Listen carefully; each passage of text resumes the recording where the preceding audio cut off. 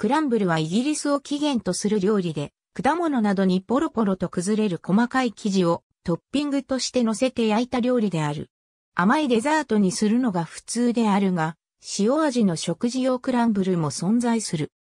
クランブルとは、英語でポロポロと崩れることを指す動詞、あるいは小さなゴミなど、細かく砕けたものを指す名詞である。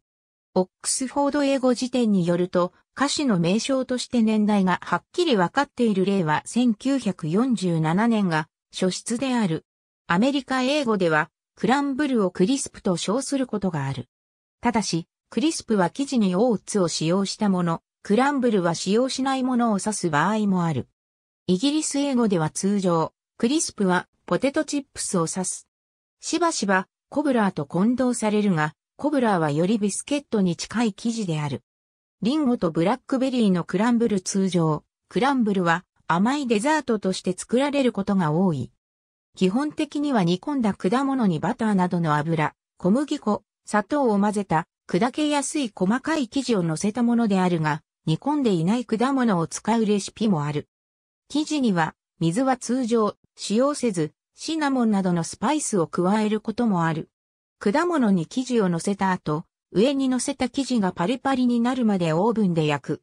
デザートとして食す場合、しばしばアイスクリーム、クリーム、カスタードなどを添える。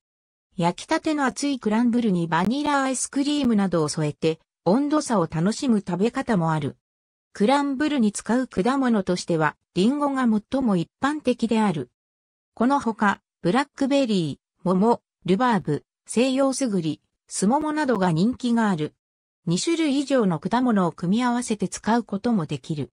野菜のクランブルにチーズとイクの名を添えた食事向けクランブル生地にはロールドオーツやアーモンドの粉末などのナッツを加えることもある。時には風味をつけるためクランブルにサワーミルクを加えることもある。焼いた時に多少キャラメル化が起こる。よう、ブラウンシュガーをクランブルの上に振りかけておくこともある。